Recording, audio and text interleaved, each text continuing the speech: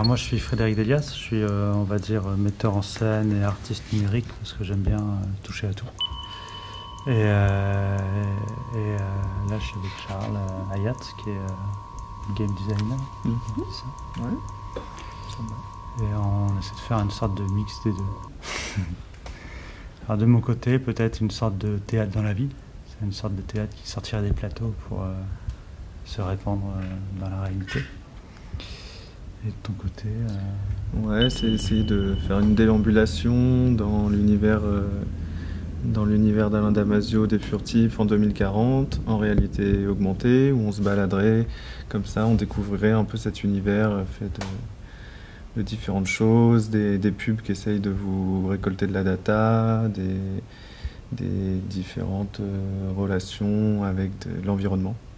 un environnement privatisé et, euh, et où le virtuel est omniprésent en fait.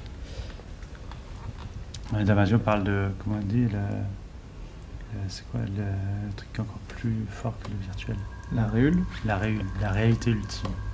En 2040, la réalité serait tellement crédible, euh, la virtuelle serait tellement crédible que ce serait une surcouche du virtuel qui serait la, la réalité ultime. Donc il n'y a plus de distinction en fait entre les deux mondes. Et selon euh, les, les citoyens, en fonction de leur classe sociale, entre leur forfait standard, privilège, euh, premium, ils ont accès à différentes virtualités qui partagent ou pas chacun en fonction de leur, leur forfait. Donc par exemple dans un parc euh, de jeux pour enfants, il y aurait des personnages comme ça un peu Des doudous virtuels. des ouais. doudous virtuels ou des, des- ouais, voilà. Mm. Et que certains ne verraient et pas d'autres. Chacun vit dans sa bulle, euh, ce, qui est déjà le cas, hein, dans sa bulle, euh, dans, la bulle Internet, dans son technococon, ce qu'il appelle, du coup, plus ou moins séparé ou plus ou moins filtré des autres. Enfin, totalement filtré des autres, puisque tout est contrôlé justement par, euh, par l'interface, par le MOA, qui est My Own Interface, qui est ton double, qui te suit partout. Et qu'on a encore dans les smartphones pour l'instant, mais qu'on aurait dans des bagues qui, qui nous donnent accès à la réule et qui, selon nos points, etc., nous donne, accès à nos, différents passes de vie, premium, standard. Donc il y a ceux qui, qui, qui galèrent, et ceux qui ont du fric, et pour qui tout est facile. Ça, on connaît déjà ce scénario. Et ceux qui luttent, justement. C'est l'objet des, des furtifs. On peut jeter un œil à un Ouais. tout petit bout de cette version bêta. Alors, c'est un proto. hein. Euh, on est en train de travailler, donc c'est même un proto qui marche pas encore. Euh, Qu'est-ce qu'il faut Tiens, toi, Euh, Est-ce qu'il est lancé? Je Attendez. crois qu'il faudrait le voir. Par contre, c'est la toute.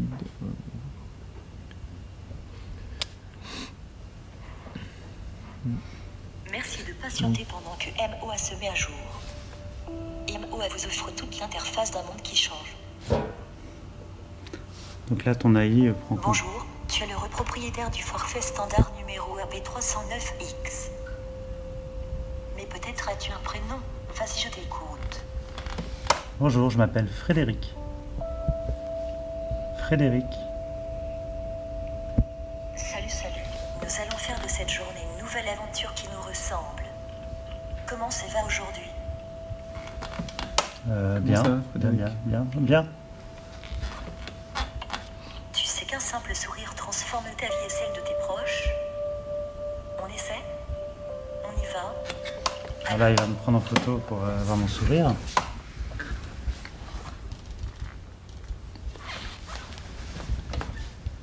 Un petit effort. Ah, ah, tu n'es pas sur ton meilleur jour. Dommage. Parfait. Bon. Merci. Elle est charmante cette Ouais, machine. Ouais. Et donc après, on va aller, euh, on va aller se balader dans la, dans la, rue. Aujourd'hui, le 15 Ouais. juillet 2040, Ça, c'est encore, sont euh, montrable, je pense. C'est vraiment en cours. euh, donc, Des, des cartes qui s'affichent, euh, des data un peu partout. Là, on est un peu en intérieur, mais on fait plutôt. euh, on va le faire sur le parvis, etc. Et on va se balader dans la ville, justement. constructeurs, un, à émettre l'ensemble des particules. Ozone 56%, gaz à effet de Alors petit à petit, on va habiller le, le monde.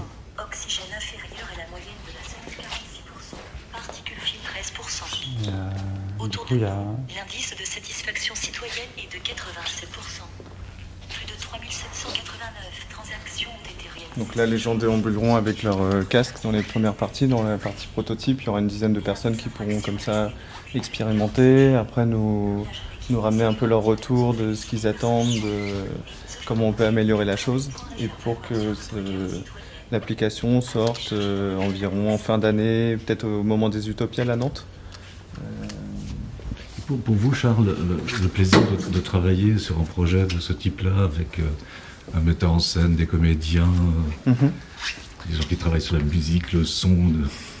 vous avez l'habitude, mais qu'est-ce qui est spécifique dans, ces furtifs? Ben, Sur ce projet-là, c'est vrai qu'il y a un côté euh, d'hybridité entre les différents domaines artistiques et croiser un peu l'art vivant et, les, et les formats numériques, euh, ça permet de, rencontrer d'autres personnes, de voir d'autres process de création, d'autres temporalités sur, euh, sur la faisabilité des choses, de se confronter à, la notion d'espace, de déplacement, de corps, qu'on a tendance à des fois un peu oublier dans le numérique, mais avec tous ces projets un peu hybrides, c'est euh, justement l'occasion de, bah, voilà, d'adapter un peu ces différentes formes. Et le projet furtif, euh, ce qui est chouette, c'est que dans son essence même, il parle d'hybridation, il parle de mutation, de, de, mu d'un état à un autre, et d'accepter d'être plus ouvert justement sur, euh, sur notre environnement, sur notre écoute, sur nos sensibilités, nos introspections, pour les, les améliorer notre, notre quotidien personnel et nos, nos nous.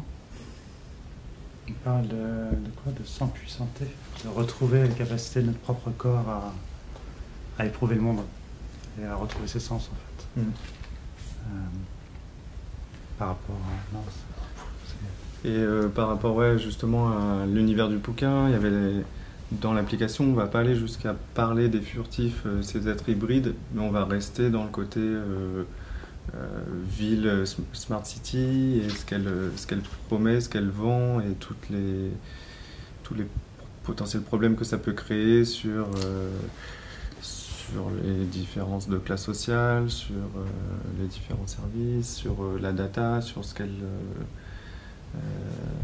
sur nos libertés qui, pour une, une contrepartie de confort, quelque part nous bah, nous emprisonne dans, euh, dans, des paradigmes très, euh, très, très californiens, très GAFAM dans l'esprit de,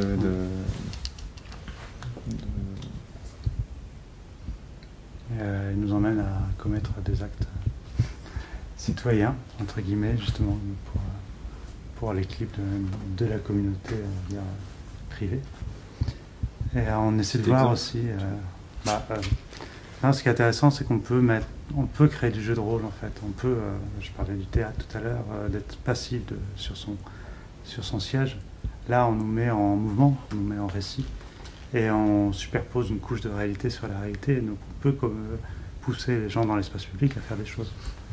Donc, à faire soit des choses très ludiques, genre éviter des pubs, etc.